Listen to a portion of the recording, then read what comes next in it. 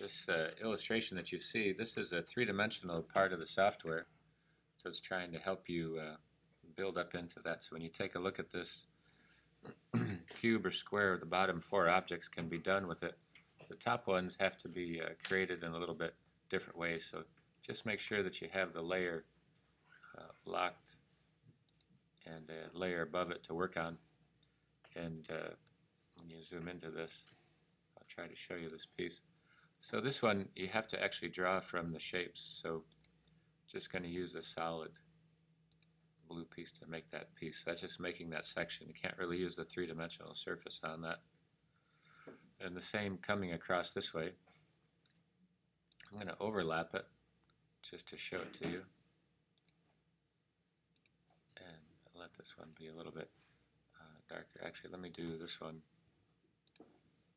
darker for you.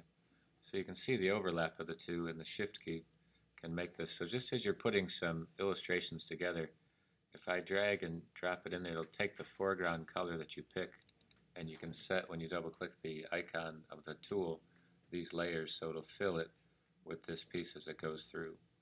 So these are where you can set all the uh, solutions for that. so it's kind of a nice nice approach. But this is just using the pen tool this is when the anchor point, the purple is the smart guide telling me that I'm right on top of those pieces there. And that gives me that selection to it. Once the color is highlighted, you can double click into it. It'll take you to the color picker, which is a good modification to, to illustrate. So you can start to get used to using some of those colors in the color palettes that open up to swatches and the color guides. These give you tints and shades of the colors so you can uh, lightly place them in there. you can also use start to use the gradient, but when you see this graphic separate from everything, there's kind of an illusion, maybe you can't see it too well, but along these edges is where it gets darker against a lighter color. And trying so I'm trying to get you to see as you go through your um, sections on the pieces. Though you can do the gradient as well. Here's the gradient tool, and the gradient editor is just a window that comes up into the into the side. So as soon as you pick on this, it'll go to its default. You can uh, take colors and drag and drop them onto here. Gives you this selection depending on how how dark. And again, you can double click them from here to set the coloring. You can take colors off of this color bar to extend it. So if I take this one off, it goes from there. And then in this little window here, you can set it and you can save it at the bottom and what happens is it shows up into your swatches panel. This bar that you see now you can start to use as the gradient tool. Showed a little bit of it before. You can stretch it out. You can click and move it all together.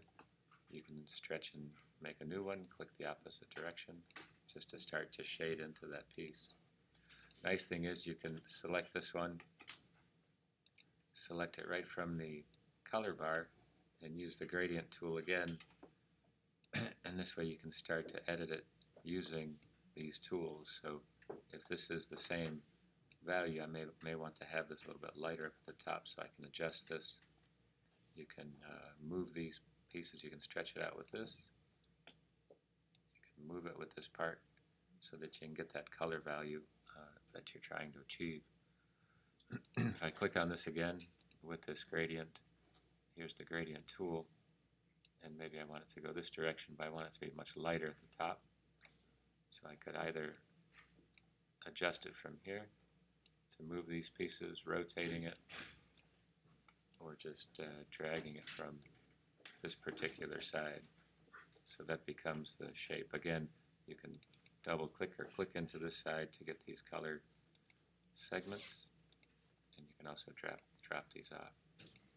So it's just to, just to get you started on the first uh, selection onto that. And again, it lets you move that into it.